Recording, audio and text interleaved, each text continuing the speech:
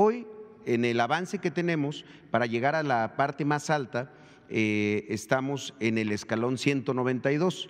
¿Y por qué digo siempre que estamos en el 192 y no lo comparamos con quienes nos han solicitado el crédito y a quienes ya se les pagó? Porque nuestra meta no es pagarles a los que lo quieren, es invitar a los que pueden recibirlo a que se sigan inscribiendo. Es decir, el número de 645 son el total de empresarios y empresarias mexicanas que pueden recibir un crédito.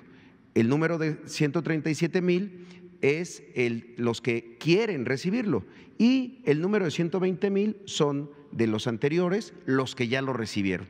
Entonces, en ese sentido, del total de los 645 mil es el 18% los que ya recibieron un crédito. Eh, si lo comparáramos entre los que nos lo solicitan y ya lo recibieron, estamos en, una, en un 88% de, de cumplimiento.